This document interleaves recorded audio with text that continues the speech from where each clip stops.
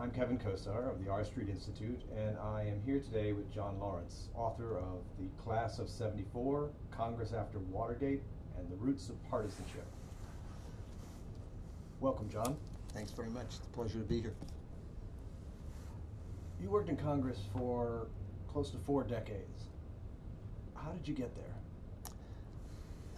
I had always been interested in politics. Uh, when I was a little kid, uh, our family's closest friend uh, was elected to Congress, and that sort of sparked my interest. And when I was finishing a PhD at Berkeley, I volunteered to work in a campaign uh, for a person who was running in 1974. Uh, I thought it would be a short-term volunteer effort, but after the election, George Miller uh, from the Bay Area asked me if I wanted to go to Washington to work for him. That sounded like a pretty good deal, particularly compared to where the history job market was at the time. And that turned into almost 40 years in Capitol Hill.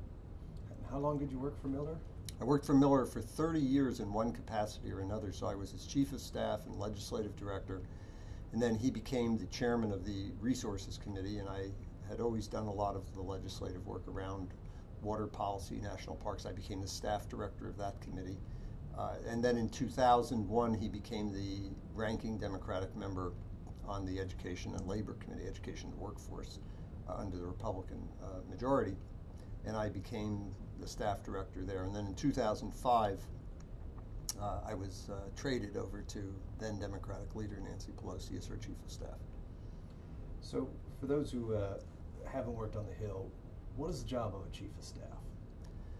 Well, it's different in a personal office than it is in a committee, and it's different in the leadership than it is in uh, either of the other two. In a, in a personal office, you, you're wearing the hat of both a uh, person who's directing the office's activities uh, in Washington, that includes legislative, press, administrative. You're generally the chief advisor to the to the member, but you're also keeping a pretty close eye on what's going on back in the district and trying to coordinate the district activities, casework activities, political appearances with the official activity. In the committee, you're really less concerned with the uh, activities back in the district. Uh, you're working for the chairman or for the ranking member if you're in the minority, but you're also working for all the other people in your caucus on that committee, and you're collaborating with the uh, staff and the members from the other side, so you're trying to produce a work product. Uh, in the leadership, uh, it's a very different situation when you're chief of staff to the speaker. You've got a much larger staff, and the staff has far more varied responsibilities with respect to, uh, in Mrs. Pelosi's case, uh, her legislative agenda, uh, the press uh, operations, but you also have advanced staffs and executive staffs, and of course, enormous amount of collaboration with the members of the caucus, uh, the White House, the Senate, you're the chief liaison for those uh, for those uh, other branches, other parts of the Congress. So it's a much more varied uh, responsibility. Again, like the committee, however, largely dissociated from the members' own personal political uh, operation in the district. Why'd you stay for so many years? And what ultimately led to the decision to, to hang it up? Uh, I stayed because I think, unlike many people in, who go to work in, in the Congress, I never got bored and I never got frustrated. Um, I was there long enough in the majority. Uh, the first 20 years were in the majority, and I was fortunate enough to be working for a member who gave me an enormous amount of autonomy and who was willing to follow up on the legislative or other policy initiatives that I came up with. So I never really ran into that problem where that, that, seems to afflict a lot of people on the Hill where they, they just sort of doing the same thing over and over again, or they've got somebody over them who's just not letting them uh, develop either professionally or with respect to the policy uh, interests that they're, uh, they'd like to pursue. I never had that. If I had a good idea, or what I thought was a good idea, and I could take it to Congressman Miller, uh, and I could document to him why it made sense to either begin an investigation or to write a piece of legislation, uh, he generally would say, fine, let's pursue it and let's see if it works. And, and often enough, it would end up finding its way into legislation. So I didn't really have that sense of frustration. Once we went into the minority, of course, it becomes a more frustrating operation. But we still, for much of the 1990s and even into the 2000s, when I was collaborating with John Boehner, who was the chairman of the of the Education uh, and Workforce Committee, we still were able to cut enough deals. We hadn't gotten to the point of partisanship where it was almost impossible to legislate. So I think one of the reasons I stayed was, um, it, first of all, it's a lot of fun uh, to work on the Hill. It's a lot of fun to work in politics. But secondly, I, I really had a sense that um, if you were willing to put in the time and you know work with the all the different aspects of, of the House, the Senate, the majority, the minority, you could actually be have an influence, change people's lives, improve the country. So, uh, you know, that's a hard act to follow when when you're you you have a chance to operate in that sphere. So let's go to the subject of your book, which centers heavily on the, the 1970s, but also draws us up to the current time. In late 73, 93 new members, 76 Democrats and 17 Republicans, were elected to the House. It was a landslide election. What, what factors brought about that huge influx of new members? Well, I think that there was there were a number of them. One was certainly the frustrations uh, emanating from Watergate. There was a large uh, amount of uh, dissatisfaction across the political spectrum with the Nixon administration, with the prolonged uh, the, the antagonisms and bitterness and divisiveness of the Watergate scandal that, of course, had dragged out from 1972 until uh, 1974. And then, just as it was winding down in the beginning of, of August when President Nixon resigned, uh, a month later, President Ford pardons uh, President Nixon, and that sort of flares up a lot of uh, concern and a lot of, of, uh, of dissatisfaction again. So that was one piece of it. I think another piece was uh, certainly Vietnam, and that was a major factor in terms of motivating the people who ran in this class of 1974. Vietnam had been, that point, our longest war, and again, extremely divisive, uh, and uh, had really sapped the country of a great deal of, of uh, unity, a great deal of optimism. Uh, people were looking for a change. People wanted a change of direction in, in the country. And then uh, there was a lot of uh, concern, I think, that Congress just wasn't doing its job. And partly that was because of the seniority system and the difficulty of, of legislating. There were some major efforts underway in, in response to what we think of as the imperial presidency, the gathering of power disproportionately in the hands of the executive, uh, which had been so much of a feature of the 50s and the 60s. Congress in 73 passes the War Powers Resolution, and 76 passes, passes the Budget Act, and begins to claw back some of that power. But still, Congress was not really addressing a whole host of issues, whether it was energy or the environment or women's issues or special education, civil rights, that that were festering and growing and, and were being reflected in a lot of popular movements. So there was there was definitely a sense that there was change in the country, there was a do- desire for uh, new policies to be addressed, and yet the Congress uh, was sort of resembling what what uh, what uh, Senator Joe Clark in, 19, in the 1960s called the sapless branch of government. It just wasn't it wasn't able to function. It needed an infusion of new blood. It needed an infusion of, of energy and optimism, and that's what this class really provided. And did the 65 Voting Rights Act also bring in a lot of new voters who who showed up to the poll for the first time, or was that not a factor? That well, actually, that's a huge factor. Both the Civil Rights uh, Bill of 64 and the, and the Voting Rights Act of 65, and then you, of course, had reapportionment that takes place in 71, 72. So now people are running in different districts, had a significant impact, particularly in the South. And I devote a lot of my uh, attention in the book to the changing South. Uh, one of the one of the most significant developments in, in post-war American politics is the revitalization of the Republican Party in the South. The Republican Party had been largely moribund uh, for most of the 20th century, and that meant that the Democratic Party had a lock on most of the seats, and since those people did not typically face competitive elections, they gained seniority. They, under the chairmanship system, they gained enormous disproportionate power, uh, and uh, that was because they were largely being elected by a smaller cohort of white conservative voters in the South. With the Civil Rights and Voting Rights Act, you have a large infusion of African Americans into what was still largely Democratic dominated uh, region. And you begin to see people uh, in 70, 72, and then in 74 winning primaries uh, who are winning because they are able to enlist the black vote, uh, which is still small in some areas, but still becoming quite influential, and they're able to, to dislodge uh, those older, established conservatives who had never been concerned about the black vote and had been strong segregationists.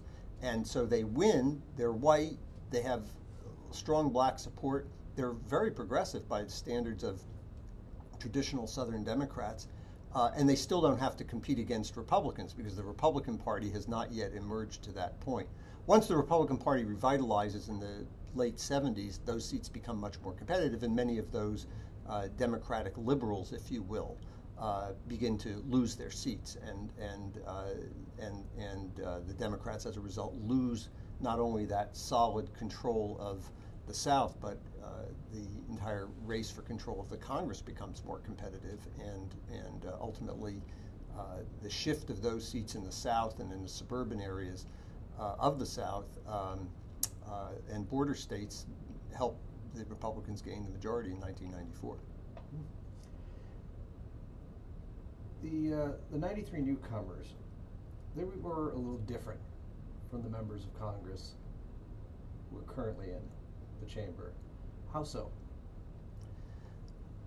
At the time, they were uh, they were looked upon as being very rambunctious, very disrespectful. People both on the Democratic and the Republican side. So these people, they've never. Tip O'Neill famously said they never served in office, they never licked envelopes or walked precincts. Uh, even some of them agreed they were unusual. Toby Moffett, who was a freshman member from Connecticut, said, uh, We had long hair, we looked weird, I can't even believe we got elected. But in fact, uh, one of the reasons I wrote this book was to look a little more deeply into who these, these folks really were. And what emerges is something of a different, uh, a different picture. Uh, contrary to what O'Neill said, about half of the members of this class actually had served in elective office. There were state legislators uh, there was a lieutenant governor. There were numerous mayors. But there were also people who had been engaged in non-elective political activity uh, in the anti-war movement, in the civil rights movement, in the consumer movement. And they knew politics in the sense of they knew how to deal with the press, they knew how to build coalitions, and they knew how to build grassroots operations.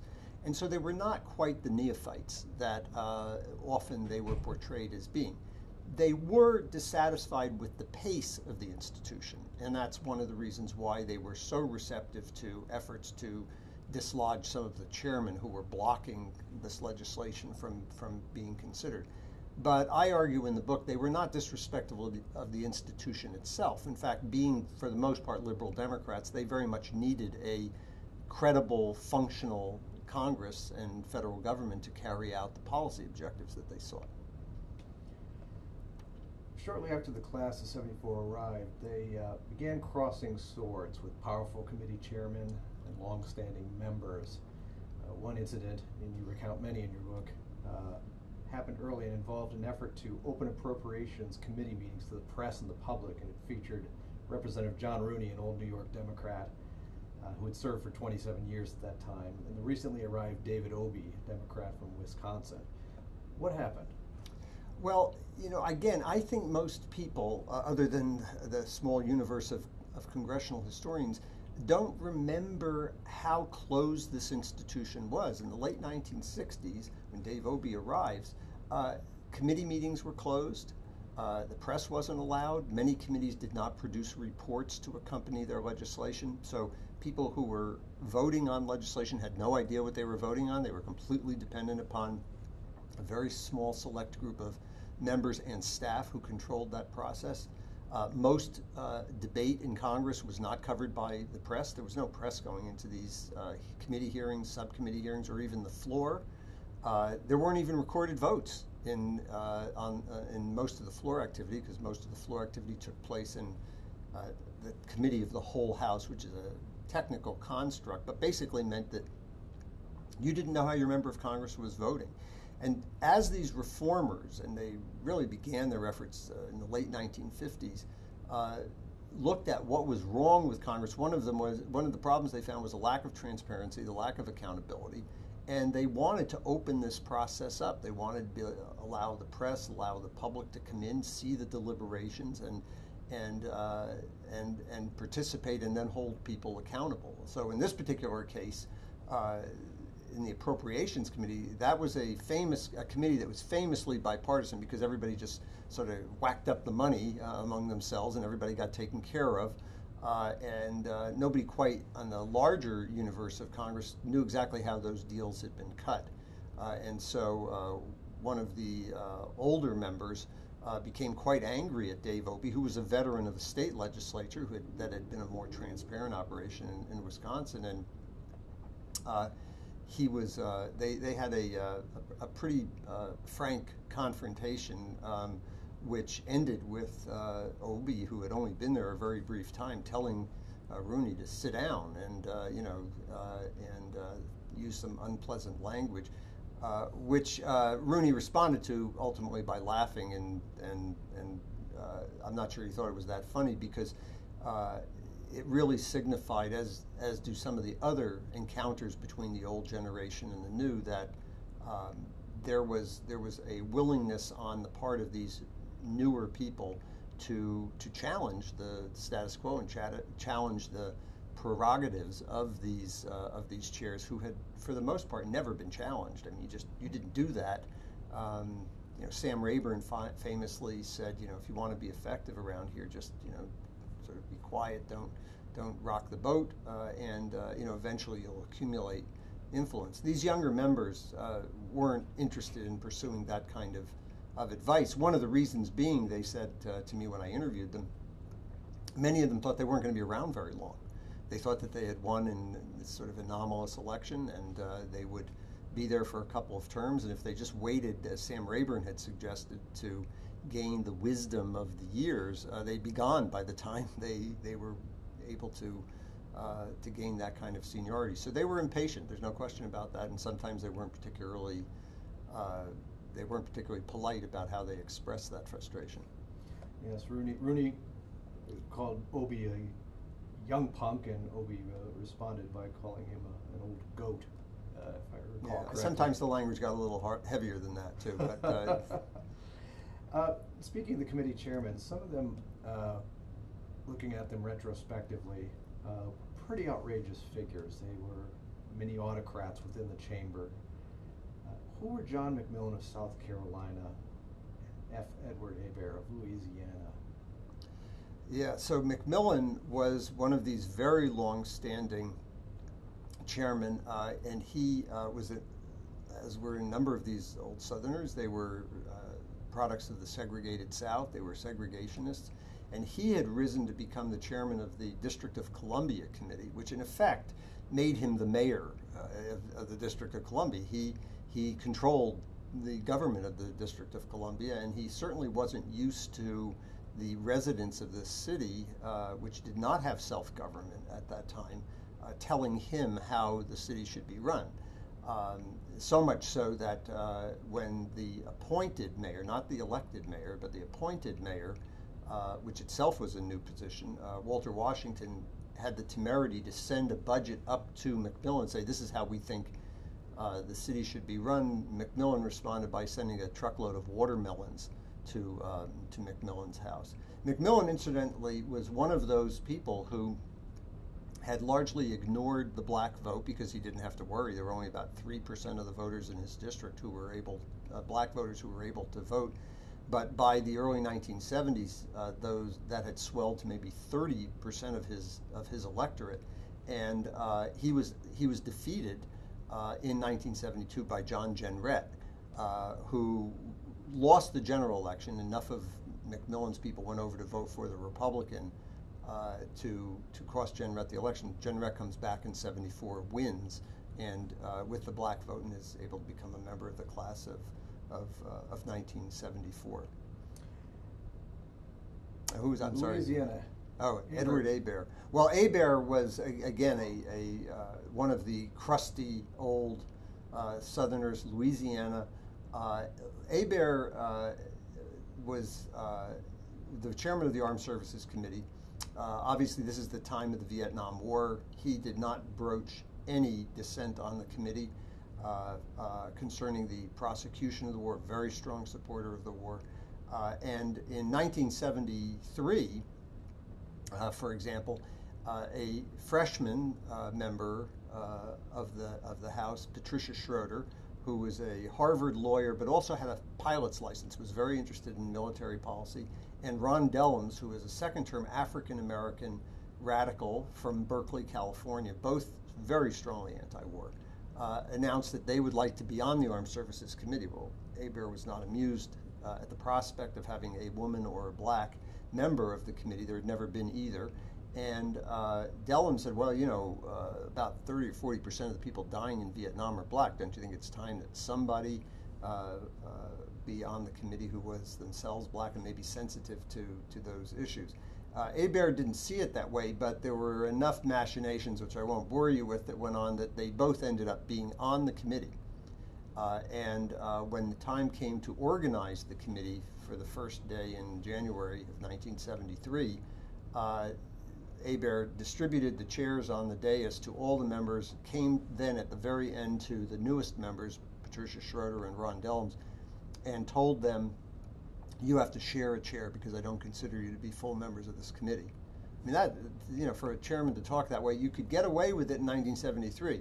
You couldn't get away with it in 1974 when this new class arrives and when that new class summons all of the chairmen uh, to address them and tell them why they thought they should be able to be the chairman, which had never happened before. they'd only recently, the caucus had even given the caucus a vote on whether or not they would ratify the chairman who were selected by seniority.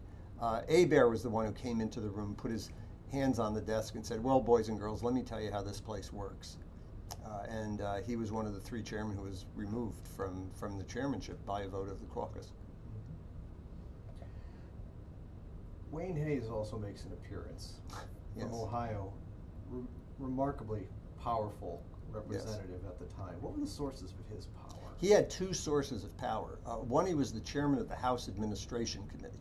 So that committee uh, wasn't a major policy committee, but it controlled everything from your assignment of offices uh, to uh, parking to uh, all those sorts of uh, your budget, your staff. So things that are really vital to just the, the, the, daily lives of members of Congress. He was also the chairman of the campaign committee.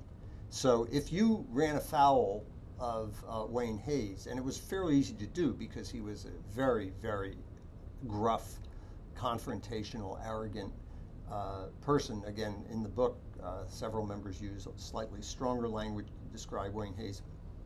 You could find yourself uh, in an office that was very, very remote, uh, in a parking spot which was impossible to find, and virtually impossible to raise money for your reelection campaign. So he he had this double leverage of both money and institutional power, which he uh, used to to uh, secure loyalty to him and, and to his continued chairmanship. And even though the steering and policy committee, the leadership committee, uh, in 1974 recommended that he be removed from office as one of these uh, chairmen, uh, the members of the caucus, including many of the members of the class of 74, voted to keep him in place because he was able to provide so many services and supports to their office. So, for those who are not close Congress watchers, could you explain briefly how does the House of Representatives change its rules and highlight some of the big changes the class of 74 and the existing reformers made? So the House, unlike the Senate, adopts a new set of rules every two years. So the Senate is a continuing body because it only elects one third of its membership every two years. So there isn't a formal vote on the Senate rules, but there is in the House. The House rules technically could be completely rewritten uh, at any time, and uh, generally they're not uh, they're not completely thrown out and start and start over again. Although they can do things like create or or uh, eliminate committees, uh, but they also just establish the parameters for the operations of Congress, and the rules are going to be for the consideration of legislation. And uh, that is generally prepared by the Speaker. It is a majority document, uh, so who controls the Congress is very decisive in terms of uh, what those roles are going to be, rules are going to be. And um, uh, then uh, it's voted on. Usually, it's not voted on the first day of the of the new Congress. So, uh, in this particular case, for example, there were changes to the rules that that were made that made it easier to offer amendments that changed the subcommittee selection process.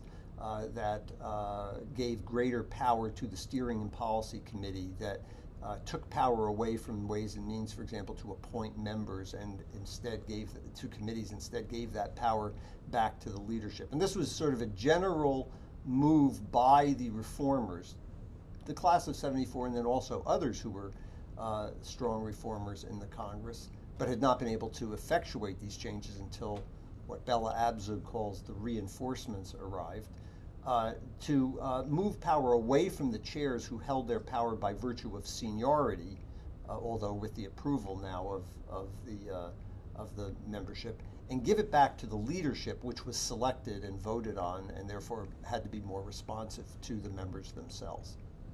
And that was important in changing the, the nature of the policy produced because so many of those chairs were older, southern, more conservative than your average Democrat was come mid 70s. Absolutely, and it's important to remember, although everybody seems to know that three of the chairmen were removed in uh, 1974, uh, what's not commonly known is that another uh, half dozen or more uh, either retired or quit uh, or uh, stepped down because of scandal between then and the next election. So by the time you get to 1976, uh, just two years later, over half of the chairmen are new. And the ones who are remaining go through some pretty dramatic changes. Uh, so they now realize that their ability to chair the committee is dependent upon their ability to satisfy the caucus that they're running the committee in a fair manner, uh, in a manner that's representative of the of the caucus. And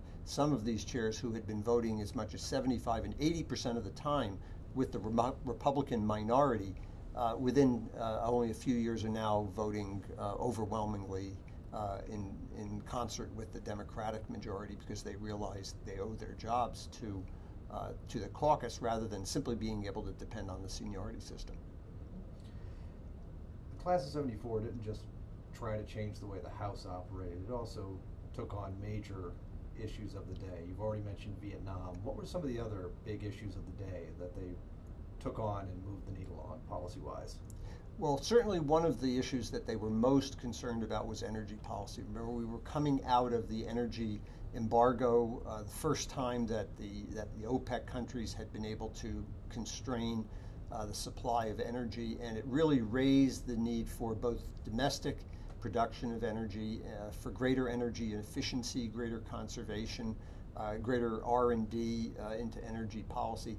And while that was broadly viewed as a, as a high priority for the, uh, for the uh, Congress, uh, and for the Democrats, it is the, it's illustrative of the way in which some of these policy questions divided the members of the class as well as the members of the Democratic caucus far more than uh, the issue of reform itself. Once you moved into the area of energy policy, you had uh, the people who favored conservation, the people who favored alternative, developing alternatives, but you also had people from the oil patch, people like Bob Krueger from Texas. You had people from uh, the uh, industrial North uh, Midwest who viewed requirements for more efficient cars or more efficient power plants as being very damaging to their local economy. So it became uh, uh, an intra party uh, problem. In fact, you still had significant numbers of Republicans uh, who were supportive of environmental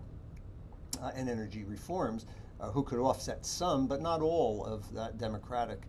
resistance. So that was certainly one of the most important policies. Mm-hmm. They ended up passing a bill in, in 1975, which uh, was not as sweeping as they would have liked, but at least began the, the, the movement towards stressing conservation and mileage standards and, and efficiency.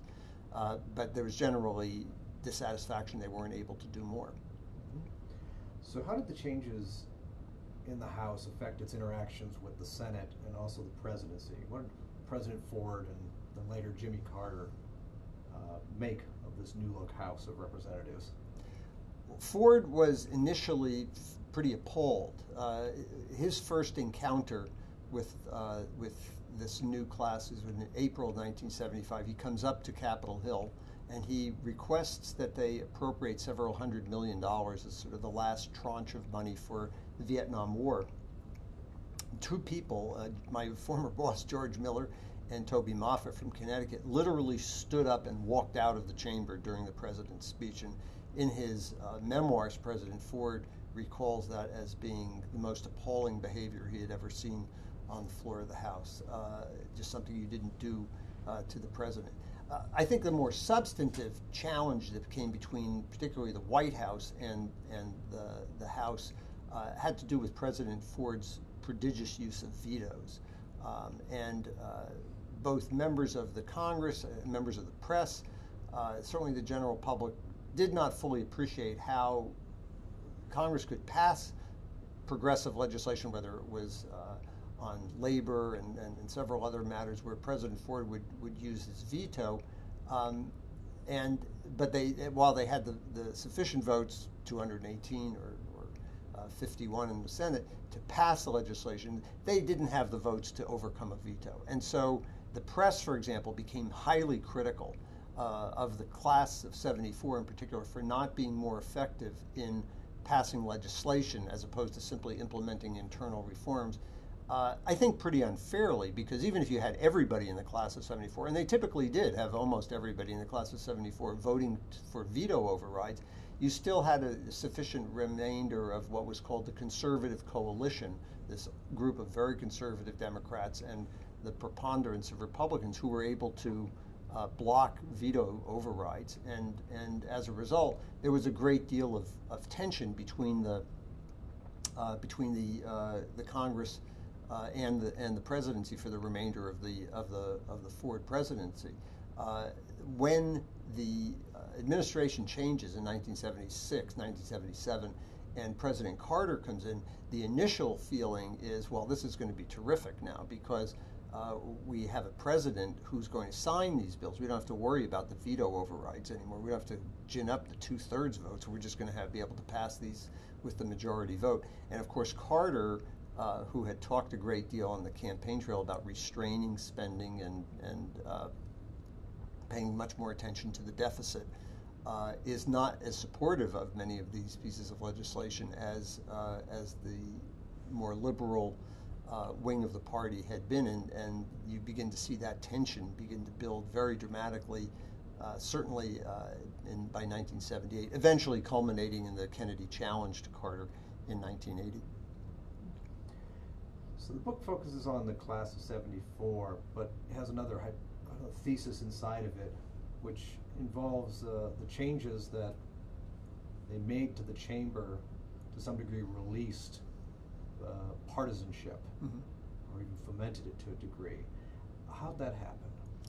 You know, the word that I, I use is that it enabled uh, partisanship to emerge. I don't argue in the book that reform in and of itself caused a more partisan environment to emerge. I think there's a fairly healthy literature um, that I hopefully add to in this book that describes the changes that are occurring in part because of this uh, changing of the, of the South and becoming a two party system where the Democrats can no longer rely on uh, over two thirds of the votes to give them that automatic majority. You know, the Democrats controlled the House for 58 out of 62 years between 1932 and 1994. So that's a major change. There's what political scientists call realignment, uh, where the ideological composition of the parties begins to change after the Civil Rights and Voting Rights Act, um, and in and also in response to uh, multiple cultural changes, uh, whether it's over abortion or it's over the anti-war movement or it's over uh, issues like the environment versus uh, versus jobs or uh, the rise of religious fundamentalism.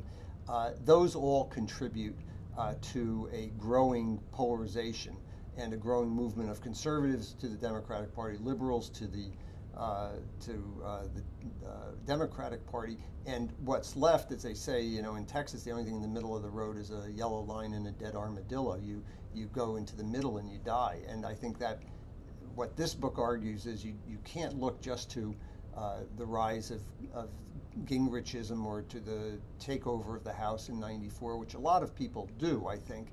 Uh, you've got to go back into the 1970s. It's there where you see the rise of independent money, for example, as a result of uh, the inadvertent consequences of uh, the campaign finance law in 1974. It's then that you see really the rise of, uh, of the evangelical movement, the rise of grassroots, more extreme grassroots organizations and single issue organizations, whether that's environmentalism on the one hand or anti busing or on the other.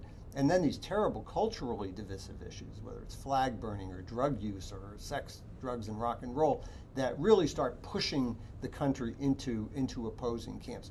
What the changes did was to allow all of that tumult to find its way into the Congress because the, the, the reforms said we're going to allow much more activity to take place in the subcommittees. We're going to allow much, many more amendments to be offered on. And in fact, the number of amendments skyrockets from a few hundred per session to over 700, 800, just in a number of years. And so you're now having battles that are fought uh, in the floor of the Congress, battles that are being fought in the committees uh, that didn't used to be fought. You're having coverage of them by the press, and then by the late 70s, you're having live television coverage of them in the, the House floor, and shortly after that in the Senate. Uh, and, and as a result, these become, in effect, uh, entertainment and, and, uh, and, methods for the parties to get their message out uh, and to uh, demonize the opposition. So it's really the, the push pull between a more open, transparent, democratic uh, functioning institution and an orderly institution. And the movement here uh, was clearly to open it up to give more people opportunities to offer those amendments, but in so they allowed these more divisive developments to insinuate themselves into the process. Your book also describes at length that the Republican Party, for the longest time, had a mindset of we'll never be a majority, so we might as well just play nice in the sandbox. Um, but there was also a simmering resentment amongst them that the Democrats, in terms of the resources and the control over the operations of the House, had maybe they had taken a bit more than they should have, and so there was this anger that was boiling there. And John Rhodes, uh, he makes an appearance in your book, an important one, it seems to me. Wh- who was he? why is he in your book? So Rhodes is the is the minority leader of the, the Republican Party in the House uh, from Arizona, uh, and he he actually is one of the early proponents of trying to nationalize a political campaign. He sees the advantage of trying to give people an idea of what the Republican Party might stand for uh, in uh, if it were to be elevated to the majority. But what is happening by the the, the, but he's presiding over a party which is largely starting to divide between uh, sort of the pragmatists, if you will, and I would you know think of of uh, uh, I, I, would put Rhodes and Bob Michel into that uh, into that category and this growing group of people who are coming largely out of the South and out of some border states and some of the suburban communities, the Sun Belt, uh, who are basically arguing look, uh, if we continue to presume uh, that we can't get to the majority status, that we simply have to be, in effect, accommodationists, um, we're never going to be able to.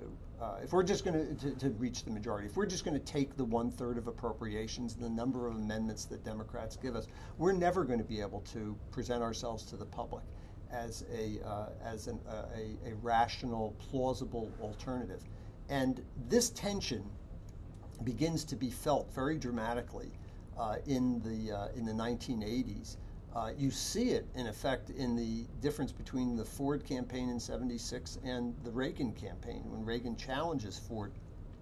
And Reagan, by no means, was considered to be the most conservative of the rising Republicans. In fact, some Republicans in the House are quite disparaging of Reagan. They, they prefer uh, Jesse Helms or John Rousselot or some of these people who are far more on, on the right and far more confrontational.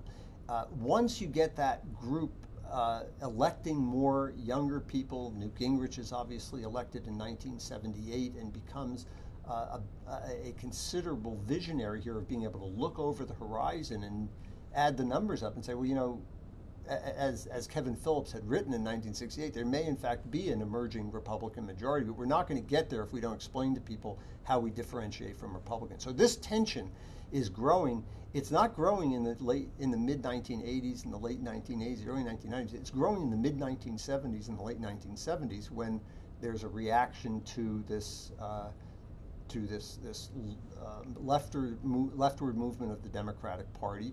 Uh, and there are these demographic changes in the South that favor uh, a Republican ascendancy in the region. Henry Hyde was also a major player yes. in this. Was he also a member of the class of 74? He was. In fact, he was the president of the uh, Republican class of 1974. What role did he have in the kind of rising partisanship and the rising power of the Republican Party? Well, Hyde takes over a, a, what had been a failed effort to elevate the issue of abortion. There had been a, an effort in, so you have the Roe v. Wade decision in 73, I think it is, and, uh, and really within the next session of Congress, there are initial efforts uh, to offer some kind of a restrictive amendment uh, in the, in the Congress that, that aren't successful.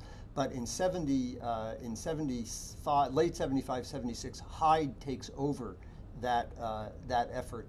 And I think it's fair to say, to almost everyone's surprise, uh, his amendment restricting the use of federal funds in the appropriations bill, uh, barring the use of federal funds for abortion services, uh, passes. And, and of course, in terms of lasting legislation, it's one of the more enduring. It's been in every uh, appropriation bill as a rider uh, since 1976.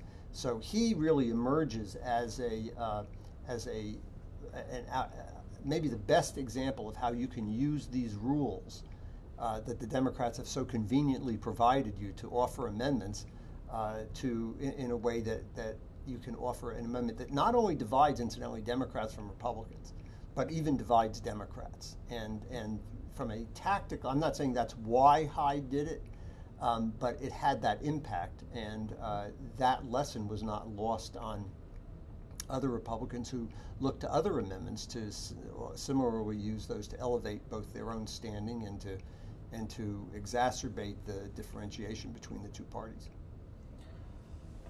So the development of the House is a more partisan chamber um, you got to witness that over four decades. Was there any moment in time where it felt like, for you, this is this is different? We are really qualitatively changing here.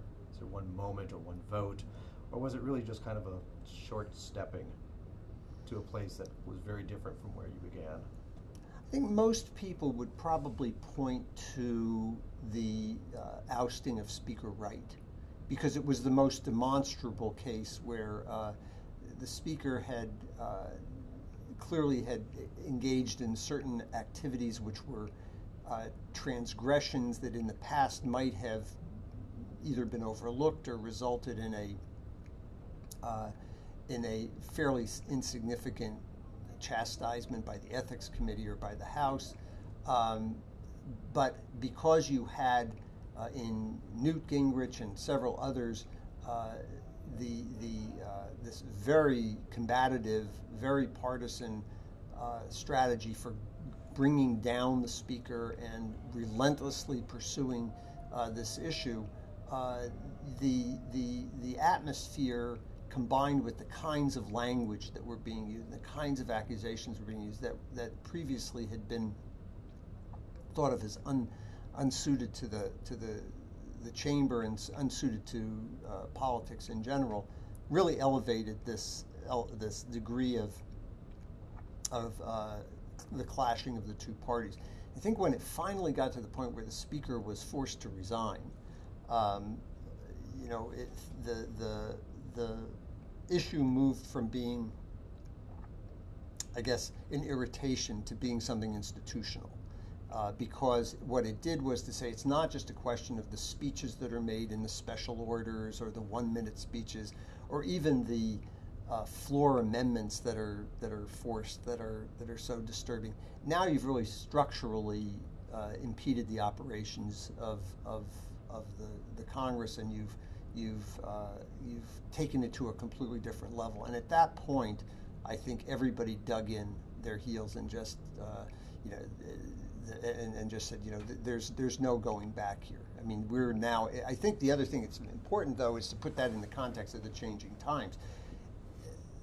At that point, by the time you're into the late 1980s, clearly uh, the Republican Party has in its sights the idea that it's going to take down the Democratic majority. It's not just going to take down the Speaker Wright, and so the the atmosphere and the, the antagonism on both sides just continues to grow because once you're once you have rough parity or you think you have rough parity, you think you have some opportunity to take over the, the majority, your your inclination for finding compromise diminishes significantly. You don't want to show that the other guys can actually manage the place, uh, and you don't want to be part of the solution. You want to be able to point the finger.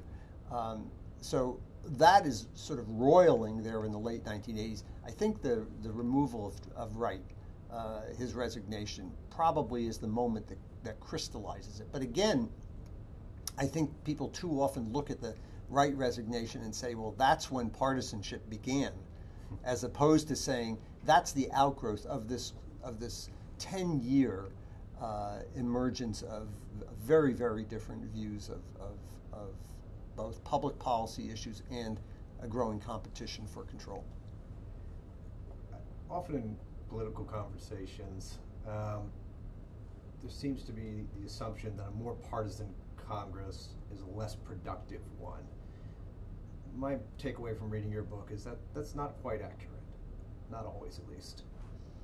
Well, you know, partisanship is it, there's nothing necessarily wrong with people taking strong positions. That's that's not the question. The question is to what extent you're willing to moderate those positions in in pursuit of a, some sort of a pragmatic outcome. And uh, there are a number of, of, political scientists, Frances Lee of the University of Maryland, uh, foremost among them, who's really looked at this issue of the closing of the gap between the parties as the critical factor where in the past you might have been able to find, even in a partisan environment, there's nothing wrong with partisanship.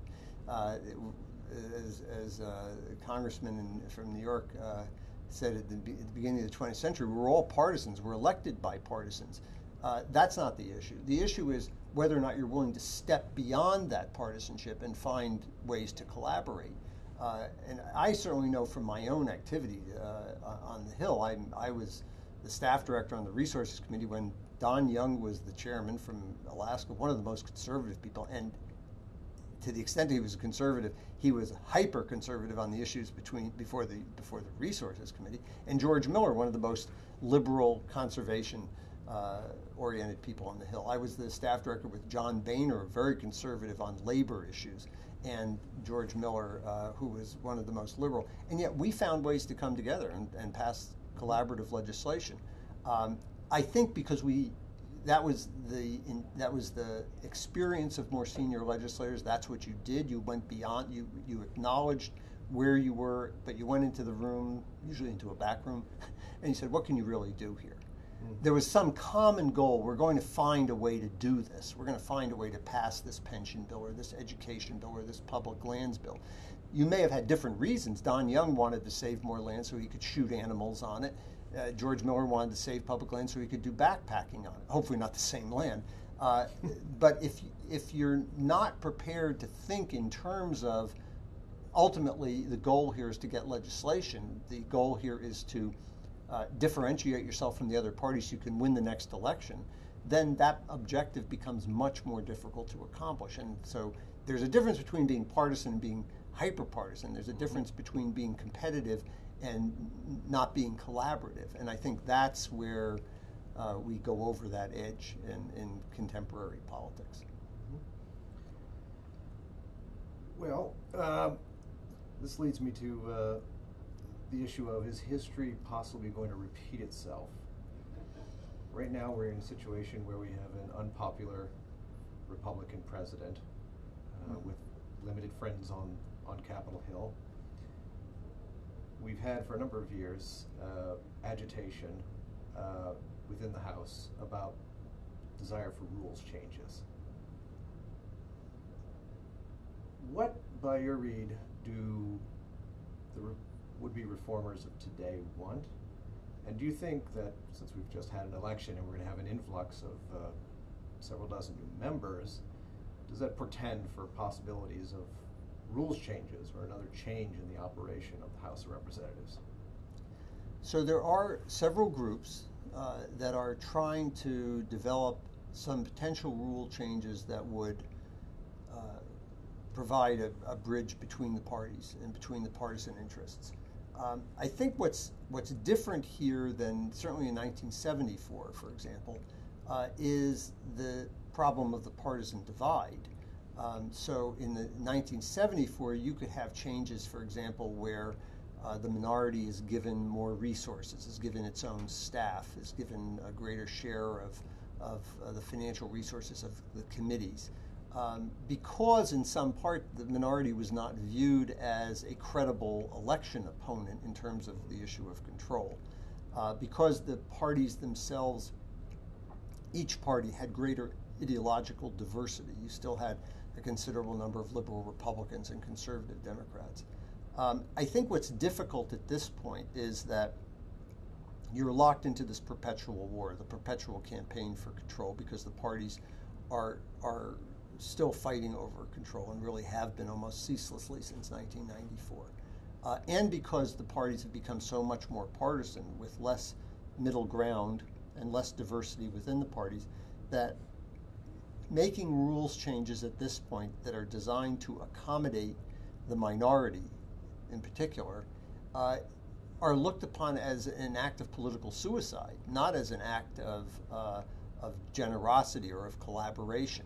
Uh, so if you give more capacity for um, shaping legislation or directing the uh, operations of the institution or the, the, the, operations on the floor to a group which is sworn to undermine you, then uh, then uh, you know your leadership is is going to get challenged for that. And I think that's one of the reasons why you see in the 115th, we're just ending the 115th Congress now. I think that every bill that's come to the floor of the 115th Congress has been a closed rule. There are no amendments allowed. So these are bills that, in many cases, were not even developed by committee. So there's been no chance for for collaborative uh, development. They are written basically by a combination of the leadership and the uh, leadership of the Republican, but they happen to be the majority. And uh, the Democratic minority saying, well, we never even had a chance to have any input in this bill. Now it's coming to the floor. We have no chance to amend it.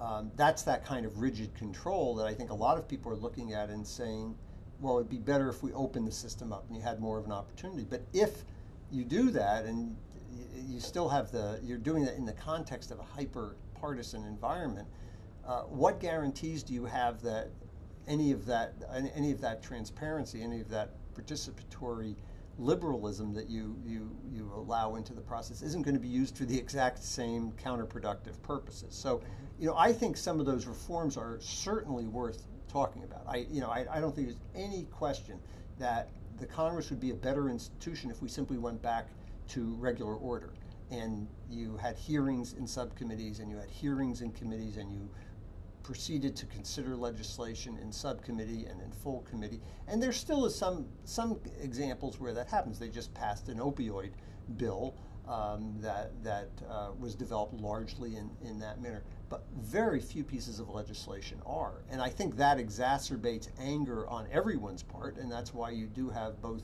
people in the majority and the minority who are looking for ways to, again, as in 1974, open the process up. But it's different in 1974 because now you know that when you open the process up, you are basically just providing, uh, you know, you're putting weapons into the hands of, of, of, your political adversaries who have very diminished interest in, in finding collaboration. So I'm pretty cautious about advising just more open rules. I think you have to have more open rules and a more uh, a, a, more participatory regular order within certain understandings that we're going to, we're trying to find something here that's collaborative. You can't superimpose, you know, you can't take a, a bill that's developed uh, on a bipartisan basis by people, for example, who are outside the institution and don't have all those all those political and daily uh, political considerations and put it into the institution and not assume that the very same energies within the institution are going to tear it apart and, and preclude the kind of collaboration you want. Those efforts, whether they're rules or draft legislation, have to be framed in a way that it becomes safe for people within the institution to consider them and to work on them in a collaborative way. But I don't think you're going to change the institution by throwing, you know, you're not going to change a partisan institution by throwing a, a bipartisan solution at them. The only way you're going to change this, it seems to me, is by showing people within the institution, showing special interests outside the institution, showing the media, which of course exacerbates so much of the, of the partisan divide, uh, that there is some political benefit to collaborating. And then people will want to do it. Politicians want to do things that succeed and that make them look good.